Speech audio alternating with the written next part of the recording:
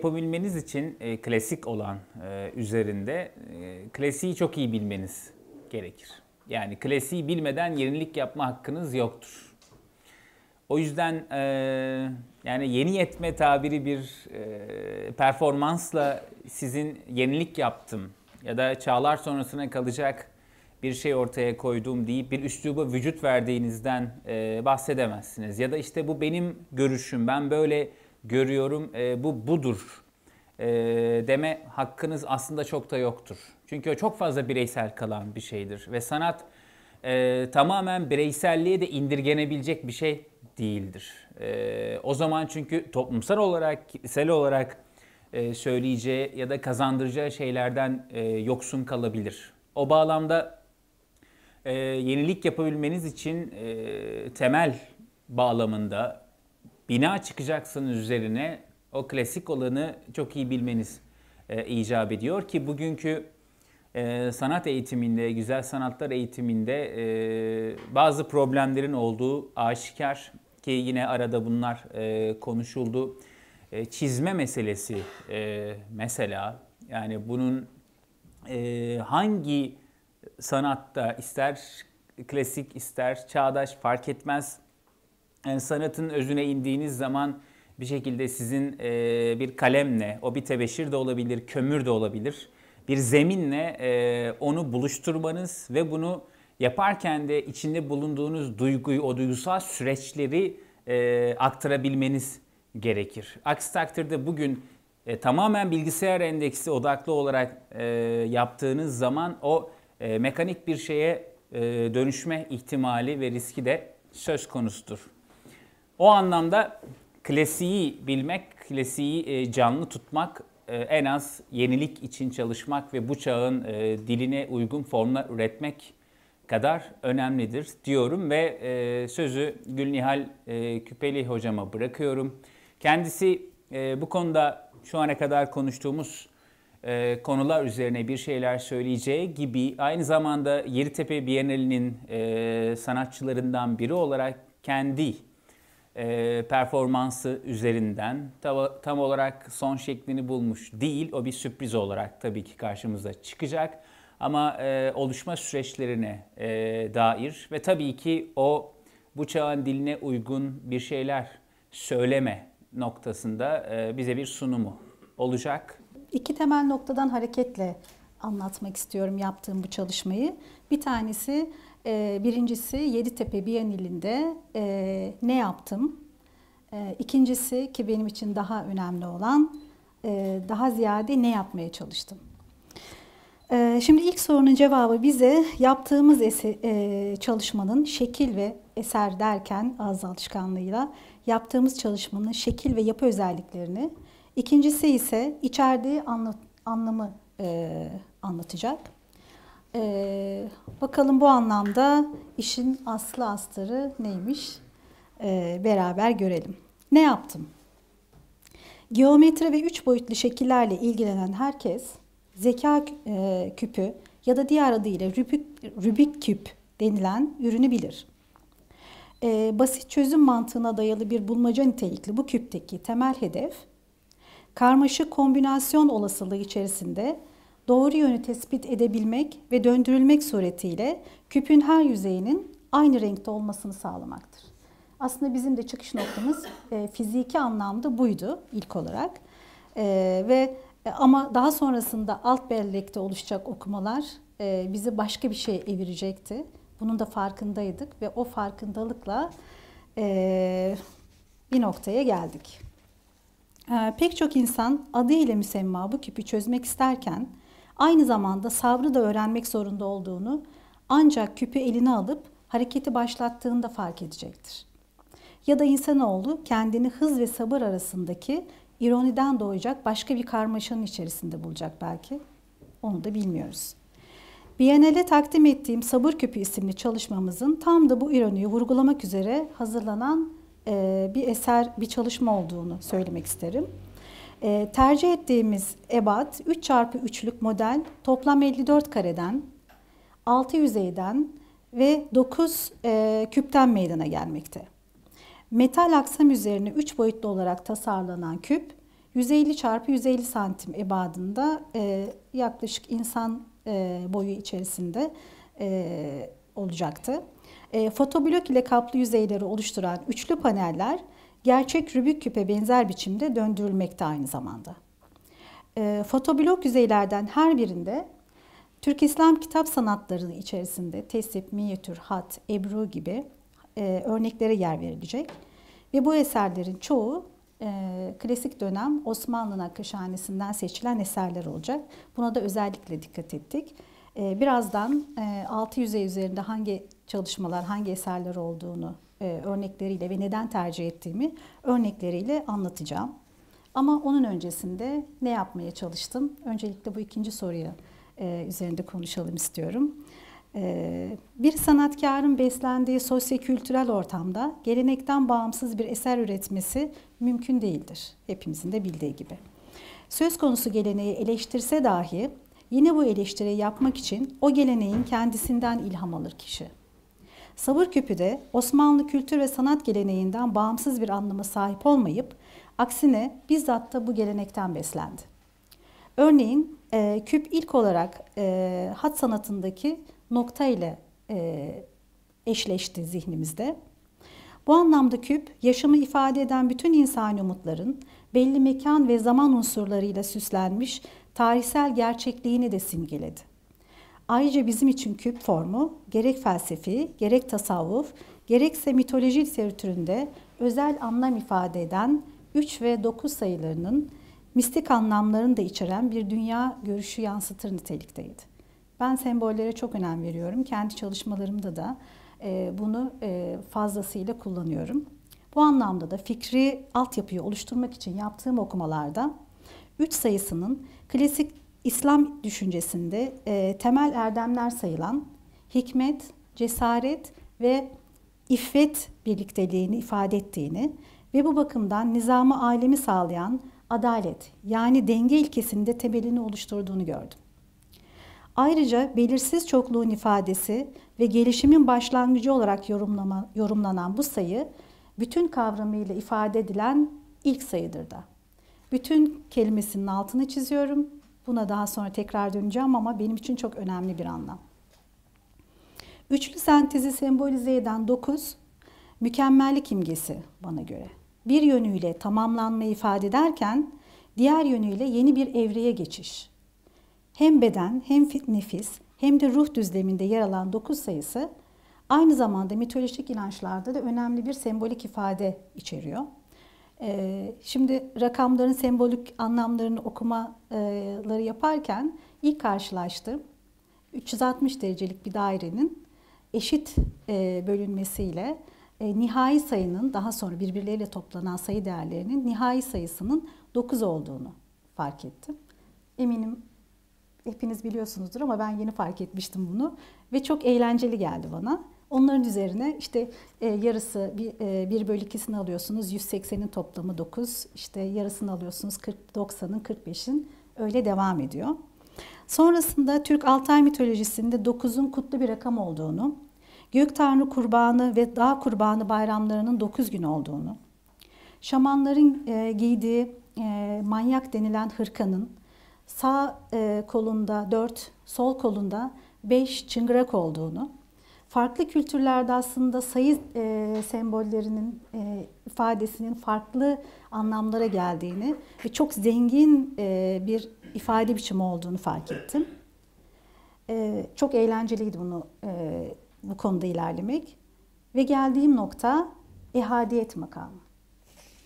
Ehadiyet makamını temsil eden noktaya gelince benim de küpümün e, hat sanatındaki çıkış noktasındaki nokta bir taraftan mutlak biri en yalın, en mükemmel biçimde simgelerken öte taraftan mahsusat alemindeki çokluğun başlangıcını ifade eder.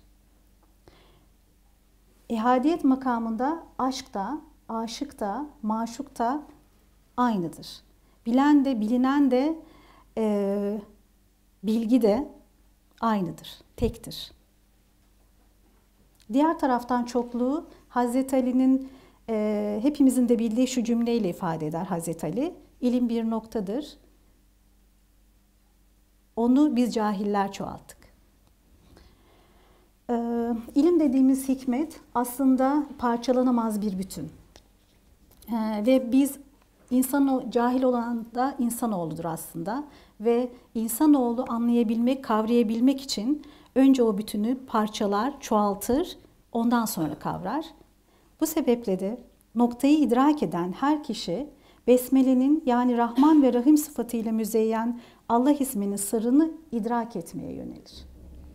Bilindiği üzere alemin hikmeti Kur'an-ı Kerim'de bunu hepimiz biliyoruzdur eminim. E, alemin hikmeti Kur'an-ı Kerim, Kur'an-ı Kerim'in hikmeti e, Fatiha'da gizli, Fatiha e, Besmele'de, Besmele Bisim'de, Bis noktada, nokta birde. Benim serüvenim bu bir üzerineydi. Basiretli bir sanatkar, birin nurunun tecellisi olan yaşam rengini ancak bu sayede keşfedebilir. Noktayı çizgiye, çizgiyi lekeye, lekeyi renge, rengi dengeye tamamlar. Kısacası sabırla sırrı arar. Üstelik sadece aramakla kalmaz, bunu estetik değerlerle, estetik bir dille başkalarıyla da paylaşır, başkalarıyla da başkalarına da aktarma yoluna e, girer. İşte sabır küpü olarak adlandırdığımız çalışmanın geçmişe uzanan metafizik altyapısını bu şekilde belki kısaca özetleyebilirim. Aynı zamanda günümüzle ilgili bir yönün de bulunması gerekir ki aksi takdirde bağlamından koparılmış estetik bir etkiden öteye geçemez. Yaptığınız her ne olursa olsun e, estetik etkinin ötesinde bir anlam taşımalı. Özetleyecek olursak sabır küpü amaç yani hakikat, estetik bir uğraşla ortaya koyma ve sanatların edep, adab itibariyle ayniyetine dikkat çeker. Şimdi e, edep dediğimiz zaman e, işte bu fırçayı tutuşundan kamışı hareket ettirmesine, e, insani davranış biçimlerine, hayatına akseden bir şeydir. Bu ahilik teşkilatında da hepimizin bildiği aslında değerler e, değerlerden en önemlisidir. Usta çırak ilişkisi. Ve usta çırak ilişkisi artık günümüzde o kadar sakız haline getirildi ki ne yazık ki bunu söylemeye imtina ediyorum. Yani usta çırak ilişkisiyle e, adab öğrenilir demeye imtina ediyorum. Ama e, sabır küpünün e, yola çıkışlarından bir tanesi hakikati ara, bütünlüğü yakala kısmıydı. Ve bu da e, bu amaçla, bu hakikati bulma yolunda e, adapla gerçekleşebilecek, edeple gerçekleşebilecek bir şeydi. Sabır küpünün bir diğer vurgusu ki bu da önemli benim için fazlalık ve ölçüsüzlüğe yapılan eleştiridir. Michelangelo'nun güzellik fazlalıktan arınmıştır sözüne bir ters okumadır belki de. Birbiriyle doğrudan irtibat, irtibatlı olan bu sanatlardan her biri kendi başına mükemmel bir estetik zevk oluştursalar da düzensiz biçimde bir araya getirildiklerinde fazlalık ve karışıklık veya ölçüsüzlük ortaya çıkar. Kitap sanatlarında entelektüel miyopluğun arttığı günümüzde ki bu maalesef ki biraz önce yukarıda da konuştuğumuz e, mesele entelektüel miyopluğun arttığı günümüzde bu küp ile karşı e, karşı bir duruş ya da modern sanat hastalığı olan bu olguya farkındalık oluşturma çabasıydı bizim yapmak istediğimiz. Alt bellek vurgusu buydu belki de. Yani hakikat arayışı içerisinde, yani bütünlüğe ulaşma serüveninde peşinden koştuğumuz olguydu ölçü. Şimdi tekrar ne yaptım? Bu ne yapmak istediğimle ilgili bir serüvendi. Burada 3-5 satırla anlattığım aslında birkaç paragraf, paragrafla anlattığım benim için uzun bir serüvendi. E, ve bu bu anlamda da geldiği nokta ehadiyet makamıydı. Birdi. Küpün vurgusu da o bir üzerine bir üzerinden e, yapılan e, eleştiriye ve onun e, sınırları içerisinde onun bakış açısıyla e, karşı duruşlara ya da kabullenişlere e, bir yaklaşımdı. E, bu benim daha öncesinde hazırladığım ve Viyanel'e sunmuş olduğum e, simülasyon. Sadece e, böyle bir örneğim var. Şimdi küpün üzerinde e, 6 yüzeyde 6 tane eser seçtim. Ve bu eserleri neden seçtiğimi örnekleriyle göstermek istiyorum. Pardon. Evet, birinci yüzeyde bu eser Türk İslam Eserleri Müzesi'nde Ahmet Karahisari'ye ait hepinizin de çok yakından bildiği e, küfi hatla hazırlanmış altın mürekkepli e, İhlas Suresinin yazılmasıyla e, oluşmuş bir eser. Ahmet Karahisari 2. Beyazıt dönemi e, hattatlarından aynı zamanda e, Sultan Selim ve Kanuni Sultan Süleyman döneminde yaşamış eser vermiş sanatçılardan bir tanesi. Ahmet Karahisari'yi seçmemin en önemli sebeplerinden bir tanesi e, belki de tarihimizdeki ilk grafik sanatçısı. Hattatlar bileceklerdir. Döneminde dönemin üslubuna e, karşı bir duruş sergileyen e, hattatlardan biri olması. Kendine bir üslup oluşturması ve onu bir asır devam ettiriyor olması. Ki sonra bu üslup e, Şeyh Hamdullah Mektebi ile e, bugüne kadar gelen bir üsluptur. Ama Ahmet Karahisari bütün o dönemde var olan popülaritenin ötesinde bir e, çalışma yapmış ve kabul görmüştür. Bu sebeple benim için önemli bir unsurdu e, Ahmet Karahisari'nin çalışması ve tercih edildi. Bir diğer, yüzeyde yine dönemin hattatı, önemli hattatı Şeyh Hamdullah'ın e, Topkapı Sarayı'nda bulunan bir e, eseri, onun e, Kur'an-ı Kerim'den alınan bir zahriye sayfası. Bu eserin alınışının tamamen duygusal bir sebebi var. E, arada öğrencilerim var, onlar için tekrar olacak ama bunu anlatmak istiyorum. E, yıllar öncesinde doktora tezimi hazırlarken e, Topkapı Sarayı'na başvuruda bulundum. E, ve her seferinde reddedildim. E, giremedim maalesef incelemek için. Bu yaklaşık reddediş iki yıl kadar sürdü. İki yıl sonra bir telefon geldi. Sabah yedi buçuk sekiz gibi. İşte Zeynep Hanım, e, çok seviyorum kendisini.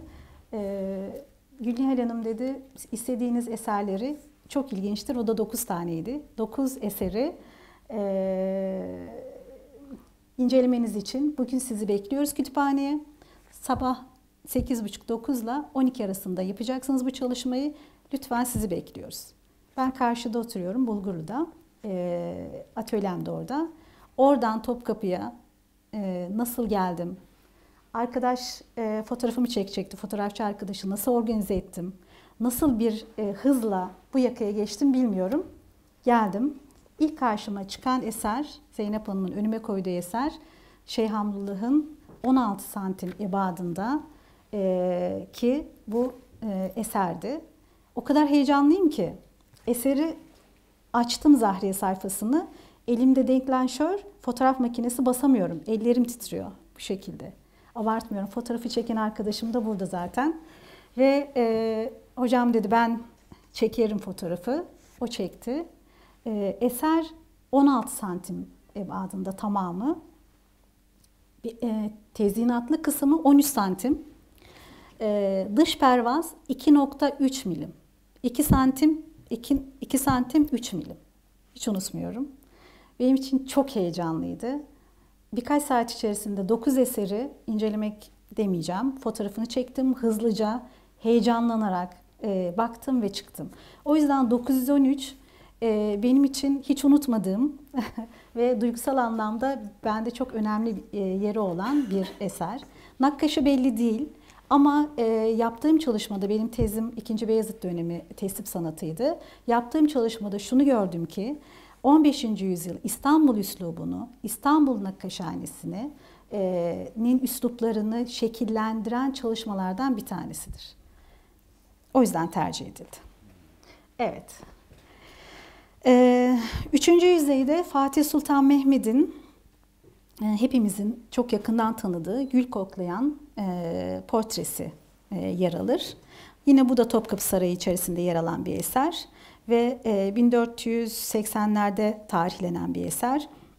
Sinan Bey veya Bursalı Şiplizade Ahmet'e e, atfedilmiştir. Bu konudaki görüşler e, farklıdır. E, tabii ki e, İstanbul'un e, Fatih olması sebebiyle e, elindeki gülün e, sanatkarlığına bir vurgu olduğunu, zihkirin de savaşçılığına vurgu olduğunu e, bildiğim için seçtiğim e, bir eser. E, sultanlarında, e, sanatkarlarında Fatih'i diyorum bu anlamda. E, bu sebeple tercih edilmiştir.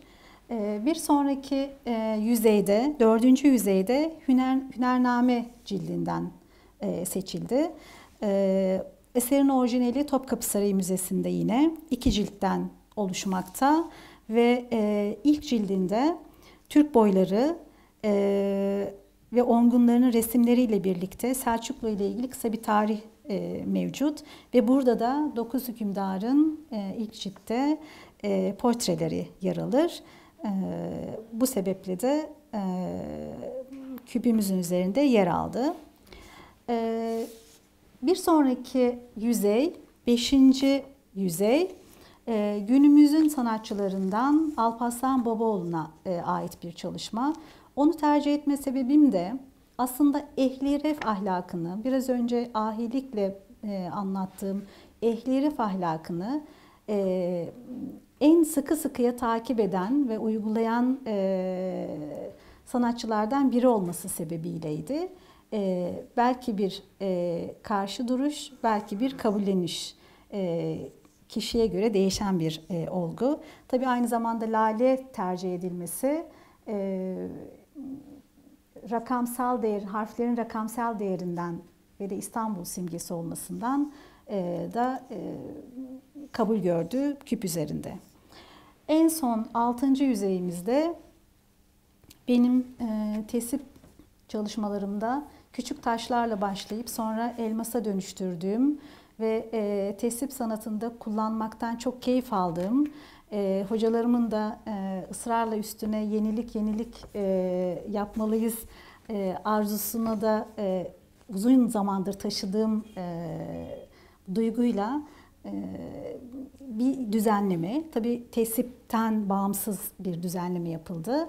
E, böylelikle 21. yüzyılda kabul ve karşı çıkış ironisiyle ehli herife, ehli herefe bir gönderme şeklinde yaptığım çalışmayı özetleyebilirim. Bundan sonrası e, Biennale'de sizin yorumlarınıza teşne. Benden bu kadar. Teşekkür ediyorum.